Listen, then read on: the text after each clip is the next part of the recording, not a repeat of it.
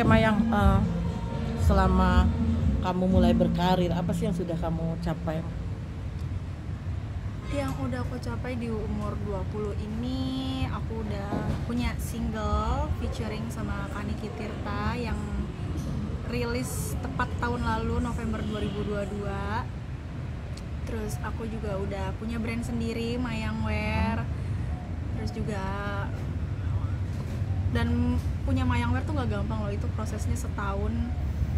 Kayak ada aja hambatannya dan baru bisa uh, launching Mayang Wear tuh tahun ini. Di bulan apa ya? Bulan lima bulan yang lalu baru lah pokoknya. Hmm. itu pencapaian aku terus juga ini sekarang aku lagi proses uh, proses bikin mini album juga sama band aku Mayang Voice Band. Yang isinya ada 6 lagu ini juga kebetulan hari ini mau bertemu dengan owner dari label Ave Records Pak Hendy. Kita mau meeting uh, nanti konsep uh, video klipnya seperti apa terus nanti ada tanda tangan kontak juga. So. kamu menikmati nggak sih sebagai uh, seorang public figure?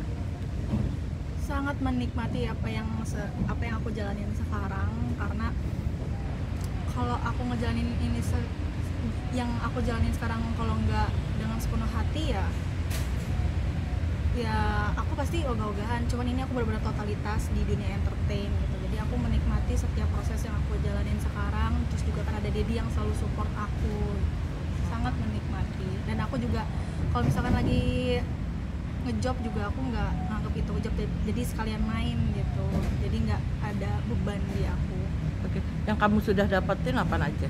Mungkin uh, berupa materi atau apa?